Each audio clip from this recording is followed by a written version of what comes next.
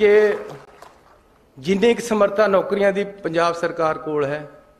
ਉਨੀ ਤਾਂ ਮੈਂ 4 ਮਹੀਨਿਆਂ 'ਚ ਭਰ ਦੇਣੀ ਮੈਂ ਅੱਜ ਇਹਨਾਂ ਨੂੰ ਕਿਹਾ ਵੀ ਲੱਖ ਨੌਕਰੀ ਹੋਰ ਕੱਢੋ